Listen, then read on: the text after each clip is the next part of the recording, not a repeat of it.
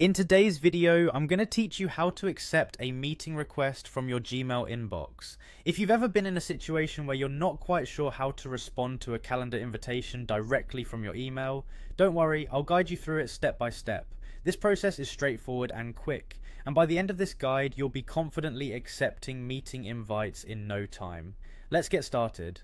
First, you'll need to open your Gmail inbox. Once you're there, scroll through your emails and locate the meeting invitation. These invitations often stand out with calendar icons or specific subject lines indicating a meeting request. Click on the email subject to open it. Now once you've opened the email, you can see the details of the meeting at a glance, including the time, date, and participants. This is crucial information that helps you decide immediately whether you're available to attend. As you review these details, take note of any special instructions the organizer might have included, like the meeting link or agenda, it's always helpful to be aware of these specifics ahead of time. Next, direct your attention to the lower part of the email.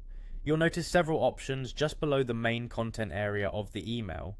Typically, you will see buttons labeled yes, no, or maybe, giving you the choice to accept, decline, or tentatively accept the invitation. If you can attend, click on the yes button. By clicking this, you're letting the meeting organizer know that you plan to participate in the meeting, and it automatically adds the event to your Google Calendar. This is especially useful for staying organized and ensuring you have all your commitments noted in one place.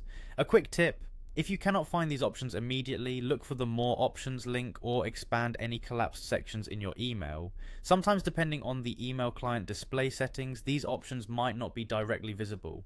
After you've clicked yes, you should receive a brief confirmation message letting you know that you've accepted the invite successfully. You can always double check by going to your Google Calendar to ensure that the meeting is listed there. Remember, if there's a change in your availability after accepting, you can always go back and update your response in the email or directly within Google Calendar. Simply find the event and choose to decline or propose a new time if needed. And there you have it in just a few easy steps. You've mastered how to accept a meeting request directly from your Gmail inbox. This is a simple yet powerful way to be responsive and organized with all your professional and personal meetings. Thanks for watching, and don't forget to check out our other how-to videos for more helpful tips and tricks.